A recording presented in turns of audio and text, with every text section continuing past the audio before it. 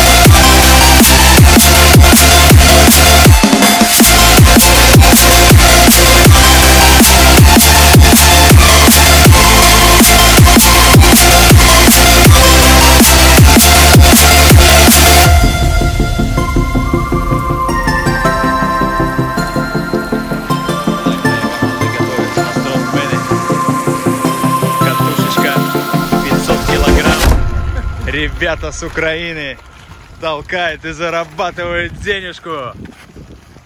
А почему? А потому что нужна квартира и машина.